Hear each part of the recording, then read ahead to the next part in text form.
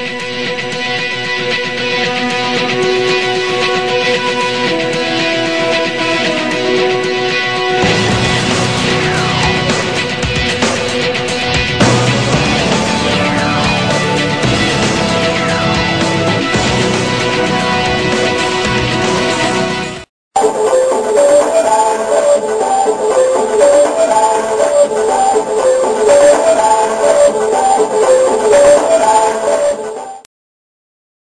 สวัสดีค่ะ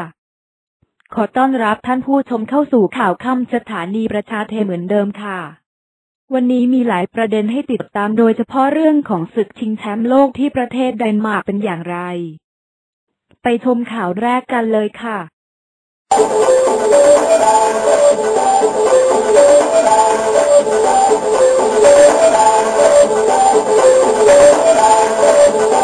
สมาคมเทควันโดไทย ขาดแคลนจอมเตะชั้นดี เตรียมฟื้นนักกีฬาเข้าแคมป์ทีมชาติ โดยเลือกเวทีชิงแชมป์ประเทศไทย บนถิ่นย่ามวย 24 ถึง 27 ต่อ คอ นี้ เป็นสังเวียน หาสุดยอดจอมเตะทีมชาติ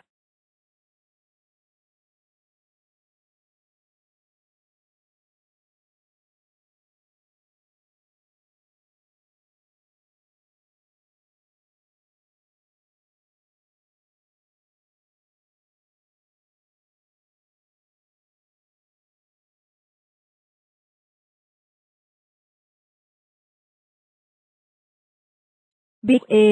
นายพิมลศรีวิกร นายกสมาคมเทควันโดแห่งประเทศไทย ออกมาเปิดเผยว่า ช่วงนี้สมาคมเทควันโดกำลังเตรียมงานใหญ่ของปีนี้ คือการจัดการแข่งขันเทควันโดชิงชนะเลิศแห่งประเทศไทยประจำปี 2552 โดยปีนี้เราได้ผู้สนับสนุนรายใหญ่อย่าง การสื่อสารแห่งประเทศไทย กระสดทำให้การแข่งขันในปีนี้จะยิ่งใหญ่แน่นอน เพราะเรารวมเอาการแข่งขันในรุ่น ยุวชน เยาวชน และประชาชน มารวมในงานเดียวกันหมด ประกาศสมาคมเทควันโด เรื่องให้ไทยเหตุการณ์ แดง และน้ำเงิน เท่านั้นในรายการชิงแชมป์ประเทศไทย พอดีเข้าเว็บสมาคมมาเห็นประกาศ ห้ามใช้เฮดขาวใส่ลงแข่งขัน รายการชิงแชมป์แห่งประเทศไทยที่โคราช อนุญาตให้ใส่ แต่ สีแดง กับ น้ำเงินเท่านั้น พักสักครู่ แล้วกลับมาชมข่าวต่อค่ะ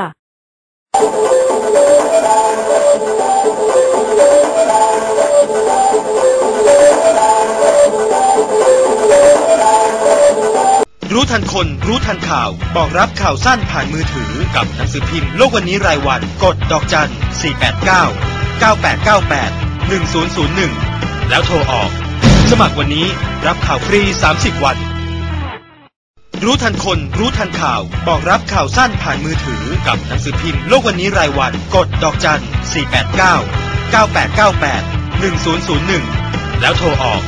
สมัครวันนี้รับข่าวฟรี 30 วัน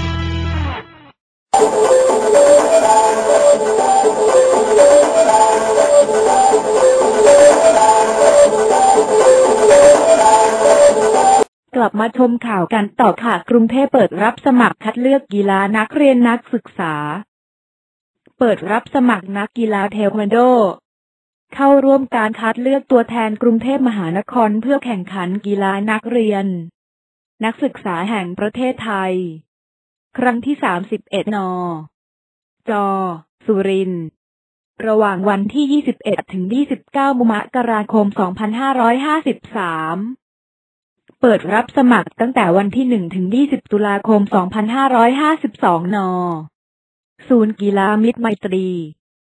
อาคารกีฬาเวทสามหลังศูนย์เยาวชนไทยญี่ปุ่น ดินแดง โทรศูนย์สองสองสี่แปดสามสามหกสี่และศูนย์สองสองสี่ห้าศูนย์เก้าหนึ่งสองในวัน และเวลาราชการ มาดูรูปแปลกๆกกันค่ะ นมสองข้างไม่ท่ากัน ลองดูจริง ๆ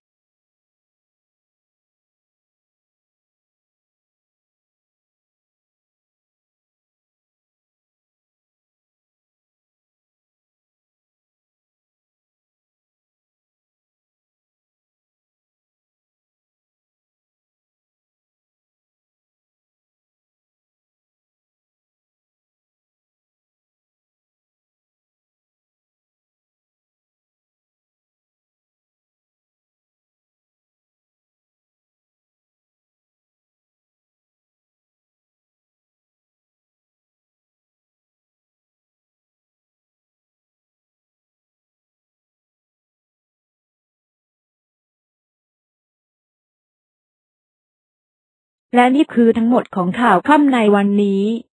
พบกันใหม่โอกาสหน้า สวัสดีค่ะ